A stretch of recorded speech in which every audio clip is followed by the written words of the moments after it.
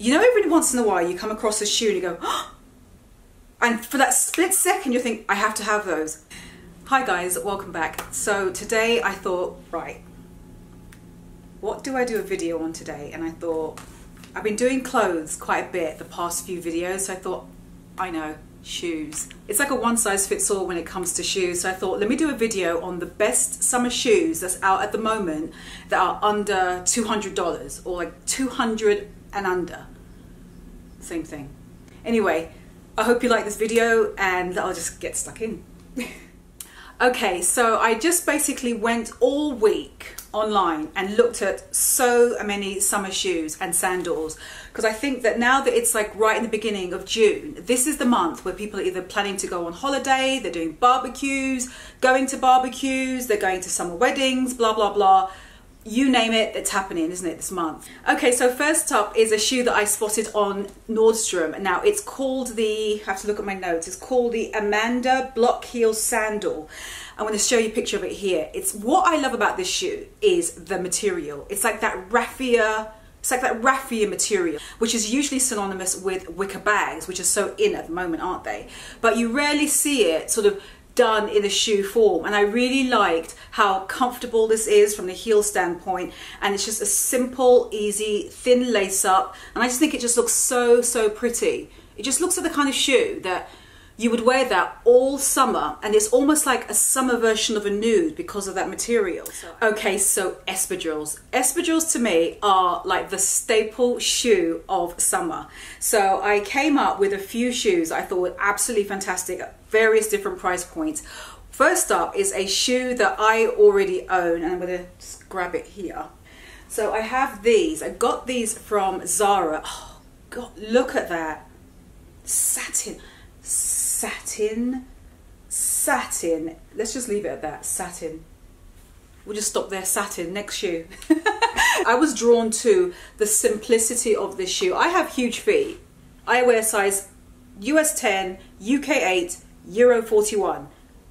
Big buttload canoe sized feet that's me. So I at first I thought, God, I'm going to order these, cross my fingers. But you know what? They actually look good on. I'll insert pictures of me wearing them on my Instagram. These look so good on and they get so many compliments. So Zara has these. These come in at, I forget, but I'll put the price here. I know it's under $200, that's for damn sure. I saw a version of these um, on, Nordstrom as well, and they come in at $88.95. I'm going to show you a picture of them here. And they also come in a different color, like a nudie beigey color. So if you think that the black is a bit too heavy for summer, then just get the nude version. Just sticking with espadrilles. You know those typical ones that are just completely flat, not double platformed or anything, just flat to the ground, and they just cover your foot like these. These are from Zara, I know. I'm going to show you something else. You don't think everything I get is from Zara. These are from So. How do you say this? Solidus, soludos, solidus, solid, solid. Let's just say solids. Uh, the solidus espadrilles, those. So I got these. I think it was either last year or the year before that, and I still reach for these every single summer. I saw a pair because I actually want a pair in black because I think the black version goes with everything. But Farfetch has a pair, and I don't even want to tell you a lot about this because I don't want you to get it. But I mean, yeah, I do want you to get it, but I sort of want it first. they are by Castaner. You know I love my Castaners. If you follow me on my social, you already know how I feel about Castaner espadrilles. They have a pair that are called, let me see, they're called the Can Sandals and they're 139, $131. Not cheap, I know. The quality, the quality, Anyway, those. I love those and I like that you can wear them with anything, dresses, skirts, high, low in terms of the hemline. Those would look really good. You know if you want to wear like a denim skirt that are short and you're thinking, what can I wear because my legs are all out? Bung a pair of those on. You are good to go. Now, if you're the type of girl that doesn't like to have their toes out, then if you like a good classic shoe, or a loafer rather, then I would highly suggest GH Bass. You know Bass, B-A-S-S? Love their loafers. They are absolutely so comfortable and to this day I own two pairs. I digress. Anyway, I saw online they have a mule version and I actually shot someone a couple of summers ago wearing the mule version. I think they're absolutely gorgeous. And I also went to the home of, you know that shoe designer slash Brazilian model, I'm going to butcher her name and I really apologize, my lovely. I think it's um, Mari. I'm going to write on here. Her. You know her. You know her shoes. Beautiful girl. I actually think she reminds me of Alexa Chung, like a baby version. I went to her home about two years ago, before maybe three, before she actually started to launch her shoe line, and I did an interview on her. I actually linked to that below if you're interested. The point is, she had those loafers, the open back GH Bass loafers stunning. We were, we just got into a chit chat about those about those mules and saying how classic they are and how good they look. Anyway, you understand what I'm saying. I saw these from Topshop. You know, every once in a while you come across a shoe and you go, and for that split second you think, I have to have those. Look at these from Topshop. Absolutely gorgeous. They look like that sort of raffia straw material. I'm going to look it up and see if it is. I'm looking to the side to see the information. They are 80 to $80 for them, which is not too bad. But I love that pointy toe and that block heel with the thin strap that goes around the back of it. I love that kind of combination because to me, that just looks very, it kind of looks a bit chungy, you know, like Alexa Chung, sort of, because it's just got that kind of mod 60s vibe but the fact that they just did it in the treatment of what looks like a sort of again that raffia wicker material it's perfect for summer absolutely perfect it's a good thing I've not gone into Topshop before I actually put this video up because I may actually be going and here they are because I think they look absolutely gorgeous. I love that little flower treatment on them and they look like a pair of shoes that you would be so lucky to find at a vintage shop. Anyway, so sticking with sort of girly, very feminine shoes, I saw this pair from Urban Outfitters. Look at this. Look at that baby blue color. I know, I know, I know. It's, it's good, isn't it? No, I'm sorry. I just saw that and I thought, this looks so, so good. They're called the Crosswalk Ruffle Sandals. They come in at $180. I thought these looked like the perfect shoe for any summer parties, any sort of date nights. Um, you're just going out for a night out with your girlfriend and you want something that's really strappy and feminine looking. And look at that block heel. That is going to keep you so comfortable and wobble free compared to like a pair of stilettos. I love those and I thought they were such a nice price point. They look like they would be something that you would get from maybe a shop that's sort of more expensive than from Urban Outfitters. They don't even look like they're from Urban Outfitters, but I love shoes like that. And the fact that they're baby blue, don't be scared because I know some people think, oh, baby blue, but what am I going to wear with it? Remember that video I did for you showing about um, mixing prints and picking the base color? Well, look at that base color, which is basically essentially baby blue, and just think about something that you could be wearing that has a little bit of baby blue in it. You could even wear it with a pair of like, I wouldn't wear it with dark jeans, I would wear like a pair of like faded jeans. You could wear them obviously a little bit distressed if you want, but cropped because you want that whole strap to show because that just adds to that dainty effect or you can wear it like really like midi dresses and just pick up anything that you've got in your closet that maybe has if not that baby blue in it then maybe it's got a little bit of a complementary color. And obviously white as well because that always acts like a neutral doesn't it? So that would look so fresh. White with those baby blue ruffle heels. Perfect all right, so everyone knows that gingham is in. I am not going to talk about that too much. Now look at these I saw from Shopbop. They are $110 and they have that gingham look. They have that gingham look, but it's in a shoe that looks very classic. I talk about classic all the time because I think that when you get shoes that have a sort of um, a timeless silhouette to them, you can get away with embellishments and patterns on them because the actual structure and shape of the shoe itself is something that will stand the test of time. I like that little bit of a heel. So if you're someone that doesn't really like heels and can't walk around in them, these are to me are the most wearable heel size and shape and, and height as well. So that is a nice way to get in on that trend and just give you a little bit of lift, but not too much.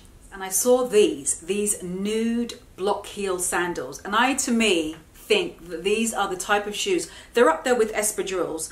They are the type of heel now that to me has just become a staple. Every single summer, you see a shoe like this at various price points. I picked these out because I just loved how they looked. I've always liked a good block heel type of sandal that has that sort of strappy type of shoe detail. I got these from Topshop approximately four, three years ago, and I still to this day wear these. I okay, so sticking with the last sort of block heel style shoe, Sam Edelman has a pair on sale, and I could not show you these. And you know why? One, I've always liked that style shoe because it keeps coming back every season. And the other reason I like it, and it comes in different colors, is because I actually loved the, um, what they call them? Brother, Brother Vellies? Brother, my fucking pronunciations are so crap today. Those with the fur, I love those. I love them, but the price of them, God, the price kills me. So I'm thinking about, you could do this too. You could do a DIY, get those Sam Edelmans and just go to a haberdashery, get some beautiful full like bow fur and put that over the front. Got the exact same shoe. Another shoe is really good for those who don't like their toes out or if you just love a sleek pointy shoe is a mule. Something's flat and it kind of reminds me of a shoe that you would get um, from places like maybe India or from Morocco. I have these by AGL and I'll insert pictures of me wearing them. I actually DIYed these slightly. I put these strings through them. I found these from, I think I got these from like a, um, you know, a shoe shop that sells like that does like shoe shining. They had like packets of laces and I saw these. These originally came with a thick, wide um, strap with a buckle and I didn't like it because I thought it cut off my leg. Anyway, I like the idea of just wearing these through them instead, but I saw some copies of these called the Kalea Lace Up Flats. So they got them in black and they got them in pink. And if I'm correct, they also are on sale. So score, score, and score. Anyway, I saw this absolutely gorgeous pair of wedges. I love the strap that goes across the wide crisscross and that gorgeous dusky sort of nude color. I love that triple strap. You know those three little, obviously you know what three means. I love that triple strap. I thought that looked so unusual. It's always just one. So just to see it done like that, it's just a nice little detail, a little bit of a twist on the usual. And I think that's a really, really pretty shoe to wear. Again, you can wear it for during the day, but I think it transitions easily into night as well because it's a little bit more smart. Okay, I think out of all the shoes in this video, my favorites for a pair of going out shoes are these. How gorgeous are these? I know the first thing you think of is Gucci because they're the ones that sort of came up at least in the most recent times, not from going back, but they've come up with these gorgeous, these shoes, these gorgeous satin mustard yellow. Not that bright buttercup yellow, but that mustardy wearable gold yellow, really rich and deep. Oh, it's so pretty. Almost reminds you of turmeric or something. Those, look at this.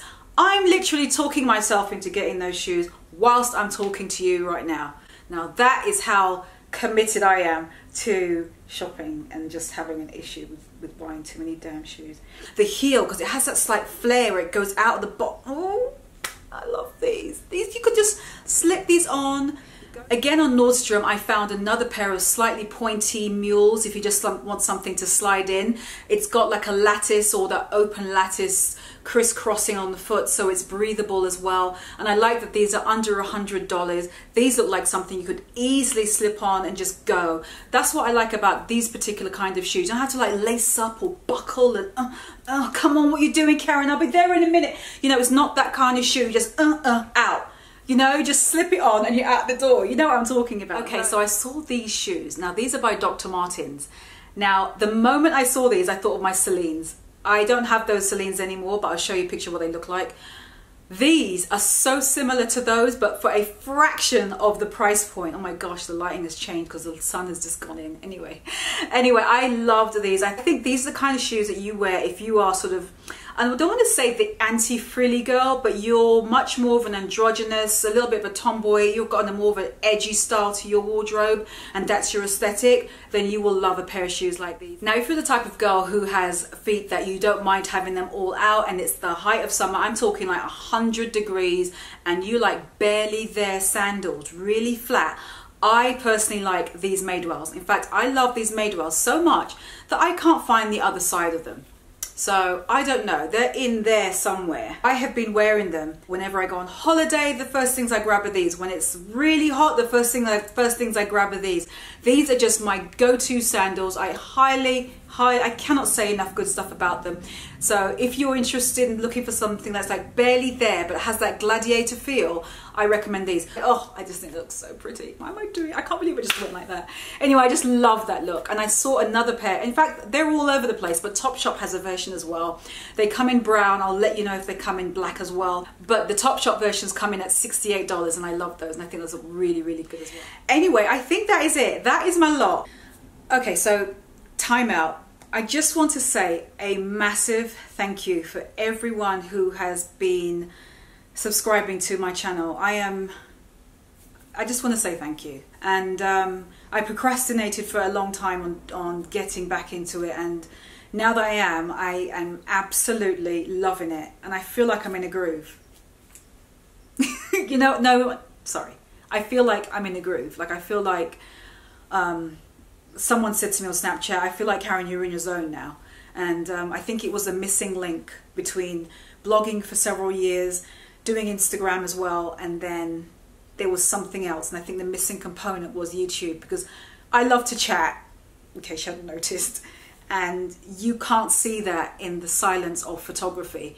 And um, I'm just glad that I get a chance just to just to chat with you, just to literally, when you lot leave comments below, I'm literally chatting with you, and I really appreciate every single one of you. And um, yeah, it just means a lot. And thank you for being around.